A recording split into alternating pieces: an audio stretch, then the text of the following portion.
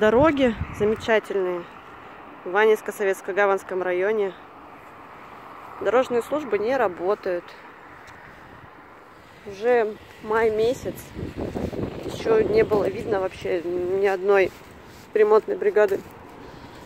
Ни ямки не замазывают. Тут уже вот кто-то, видать, слетел. Колея. Ну, потому что тут, э, я не знаю, ну, невозможно невозможно объехать даже. Нету шансов не попасть в яму. А ямы, извините, вот такие по всей дороге.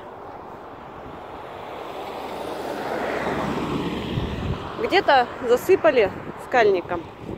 Ну там камнями, булыжниками огромными.